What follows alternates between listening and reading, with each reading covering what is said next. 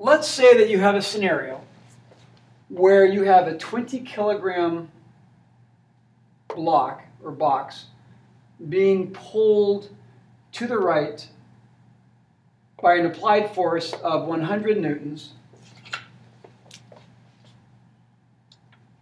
I'll say that this angle is 30 degrees. It displaces 10 meters. When it's being pulled, it was already initially moving at 15 meters per second. And there is a force of kinetic friction acting against it of 20 newtons. So the goal is to calculate the amount of work done on the box, the final kinetic energy of the box, that is at 10 meters, and then the final velocity, using the idea of energy, not kinematics, to solve this. We still have to draw a force diagram.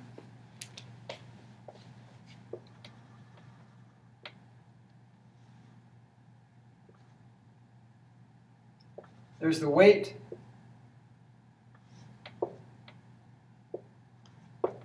There's the applied force. There's the normal force, which is shorter than the weight.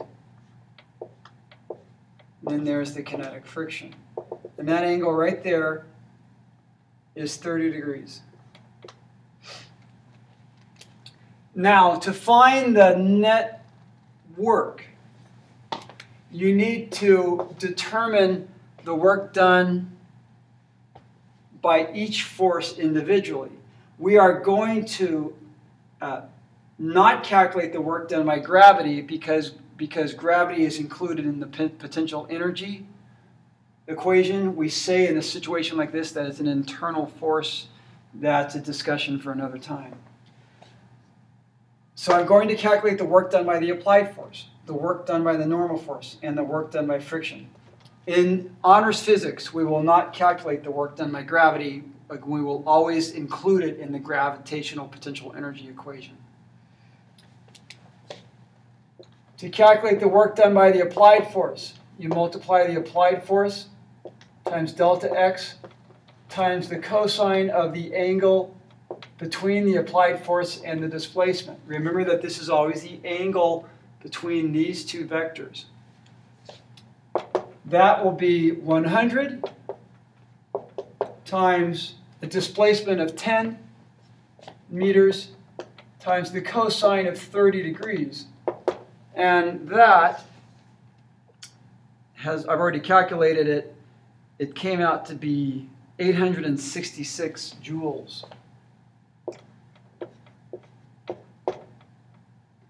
Then you need to calculate the work done by the normal force. The work done by the normal force is going to be the normal force times the same 10 meters, because this displaces to the right 10 meters, times the cosine of the angle between the normal force and the displacement. Excuse me, I should have put delta x there for now.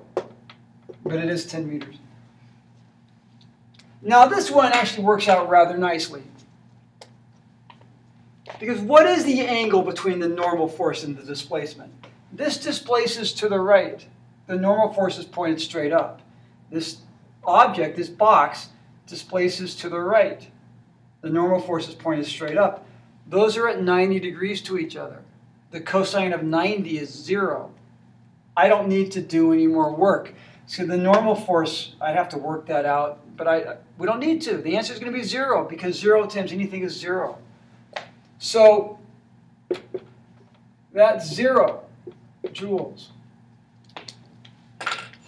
What about the work due to friction? Friction always acts against a system. Work due to friction is the kinetic friction times the displacement times the cosine of that angle the cosine or the angle uh, between friction and the direction of motion will always be 180 degrees without exception.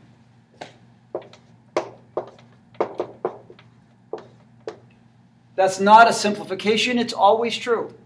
And the cosine of 180 degrees is negative 1. And so this term, you don't need your calculator for it.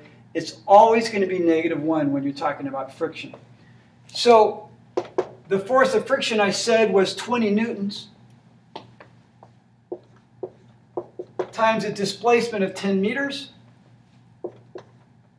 times negative 1, cosine of 180. Again, the cosine, I'll put that right over here just to help you remember. The cosine of 180 degrees is negative 1. So friction always comes out to be negative because it's always taking energy out of the system. The negative 200 joules. So to calculate the net work, add them all up. Well, work is a scalar quantity, so there's no direction associated with it, no like left, right, north, south. But it can be positive or negative. So we're going to add the applied force plus, sorry, the work done by the applied force plus the work done by the normal force, plus the work done um, by friction, which is against the system. So that's 866 plus 0 minus 200, which is 466. No, it isn't. It's 600. And, oh, my, devilish. Uh, 666 joules. What does that mean? It means that, well, whoever's doing this work, they have used up 866 joules of energy. They have 866 joules of energy less at this point than they did when they started. I'll say that one one more time. Whoever's doing the work has 866 joules of energy less here than they did there. Where did it go? It went into the box. But the box after all of that doesn't have 866 joules of energy because friction took out 200 joules of energy.